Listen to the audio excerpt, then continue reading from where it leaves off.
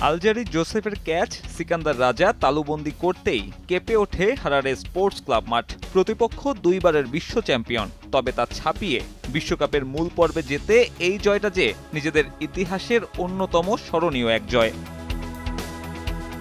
যদিও কাজটা সহজ ছিল না একেবারেই, শেষ দশ ওভারে ওয়েস্ট ইন্ডিজের প্রয়োজন ছিল মাত্র বাহান্ন রান। হাতে চার উইকেট, জেসন হোল্ডার কিমোপলদের মতন ক্রিকেটার থাকতে এমন সমীকরণে দুশ্চিন্তার কি আছে?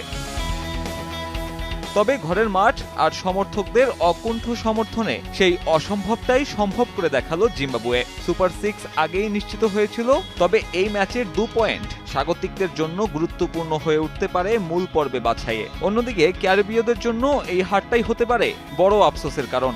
নতুন লাক্স, যা দেয় মখমলি উজ্জ্বলতা। আমার উজ্জ্বলতার রহস্য, নতুন লাক্স।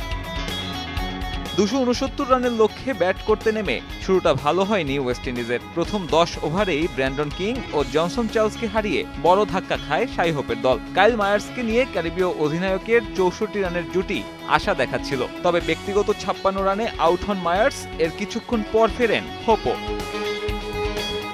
এরপর চেসকে নিয়ে ইনিংস মেরামতের কাজ শুরু করেছিলেন নিকোলাস পুরান দুজনের একচল্লিশ রানের জুটি ভাঙলে তাসের ঘরের মতো ভেঙে পড়ে ক্যারিবীয় ব্যাটিং অর্ডার। স্বাগতিকদের হয়ে সর্বোচ্চ তিন উইকেট নেন, টেন্দাই চাতারা।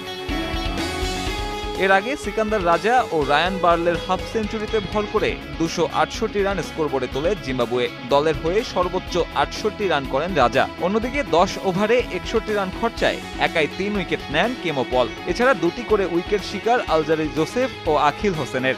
যদিও বোলারদের নৈপুণ্যের পরেও ব্যাটাররা সুযোগটা কাজে লাগাতে ব্যর্থ হওয়ায় মূল পর্বে জায়গা করে নেওয়াটা কঠিন হয়ে দাঁড়াল ক্যারিবীয়দের জন্য। গ্রুপ পর্বে এখনও এক ম্যাচ বাকি সাই হোপদের